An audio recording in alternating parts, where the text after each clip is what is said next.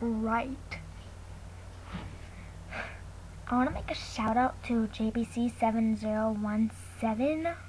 Yeah, we are still going to be doing the competition. Lilly's not here right now, so. Mm -hmm.